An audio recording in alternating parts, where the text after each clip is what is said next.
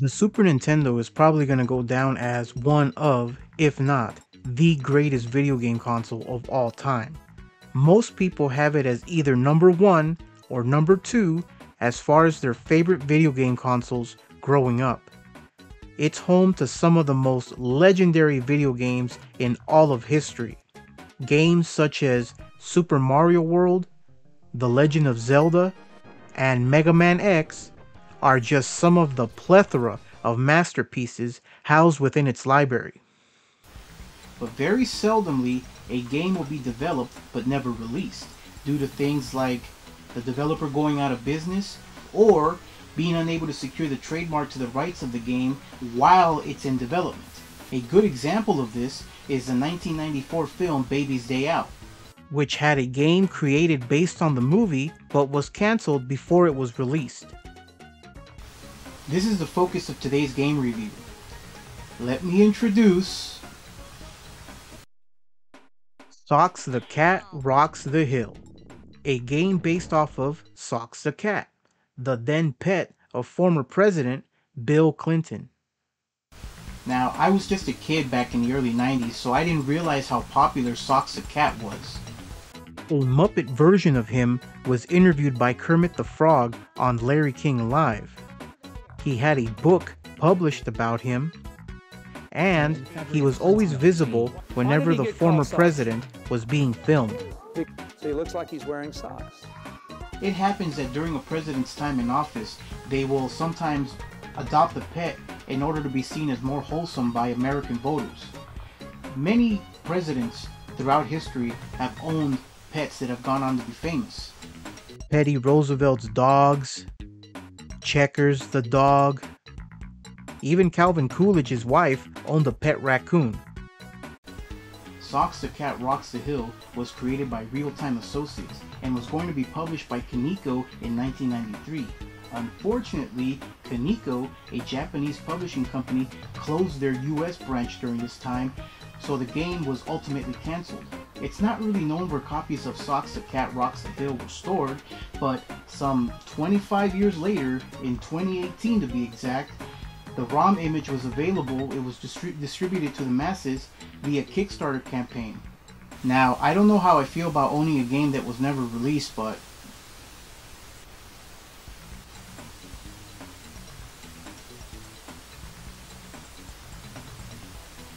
I'm curious to see what could have been.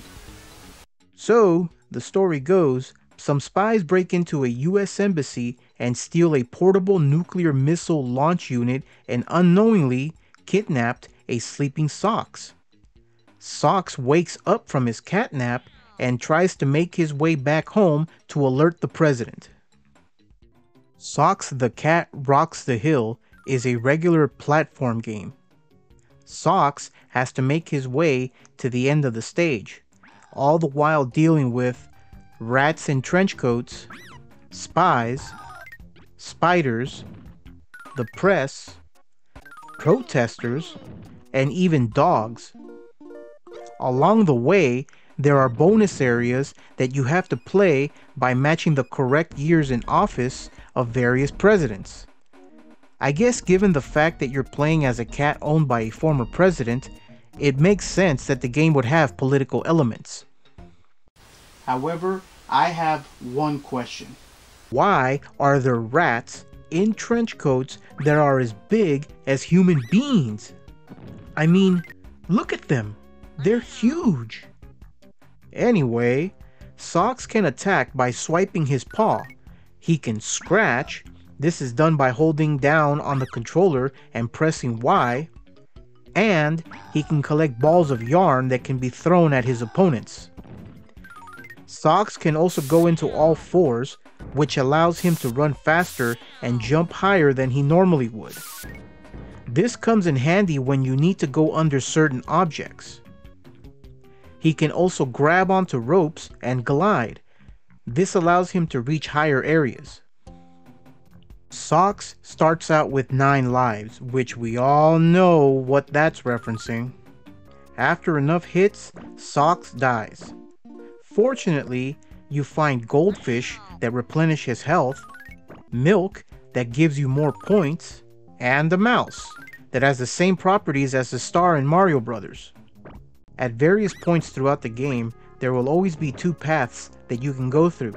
It'll be up to you which path you choose to take. So, I make it to the end of the stage and it's time to fight the boss and... Uh, uh, wait a minute here. Is that Ross Perot?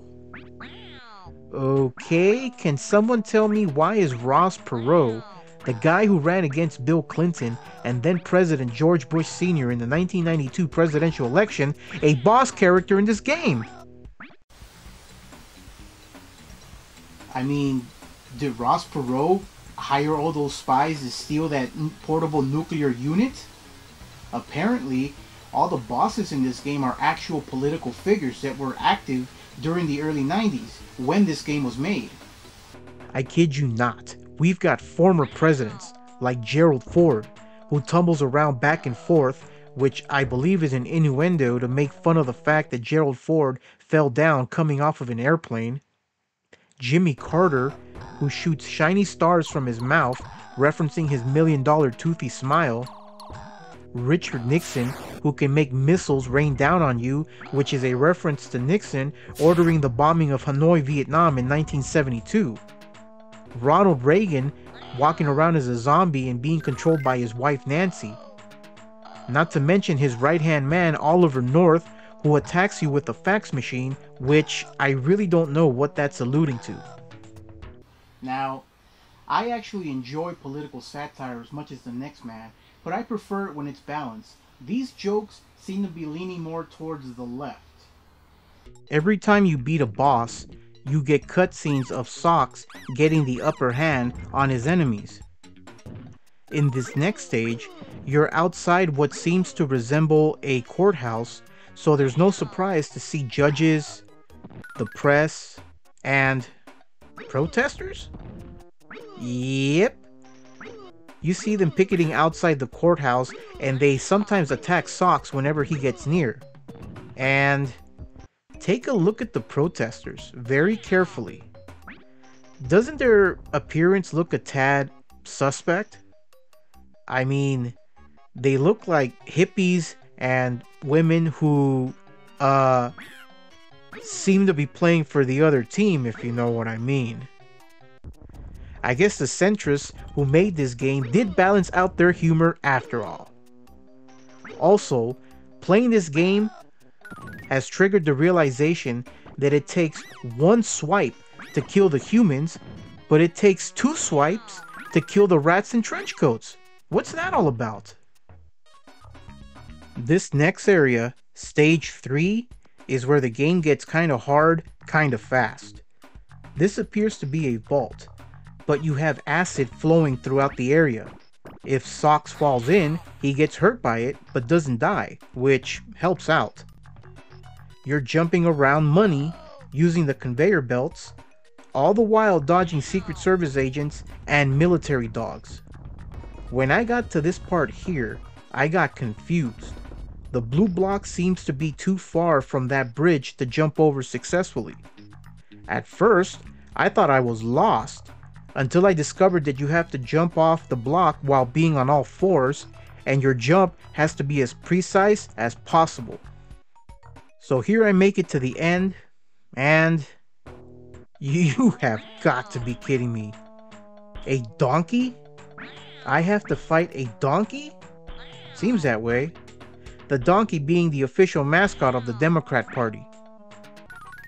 This sewer stage was frustrating it seemed so big and vast that I ended up getting lost most of the time.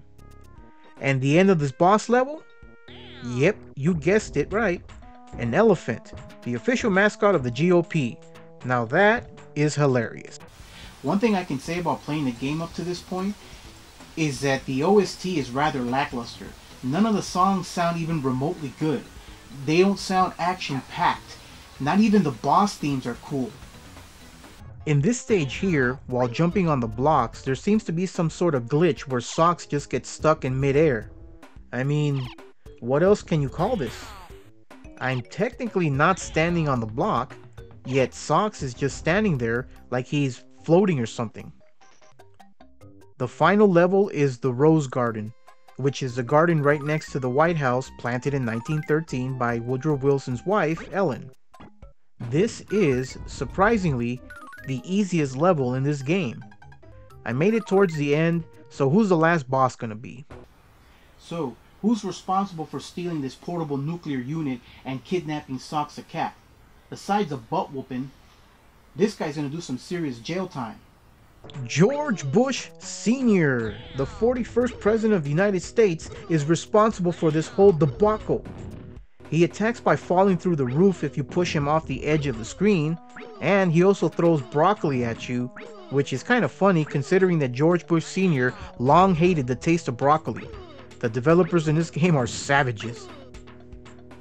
Anywho, old Georgie boy doesn't present much of a challenge, so once you defeat him, Socks reunites with the Clintons, and he jams with them with saxophones, which Bill Clinton was an avid player of.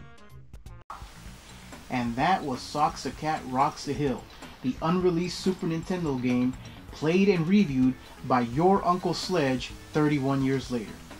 Final thoughts about this game?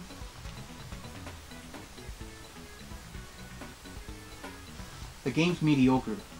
Bye!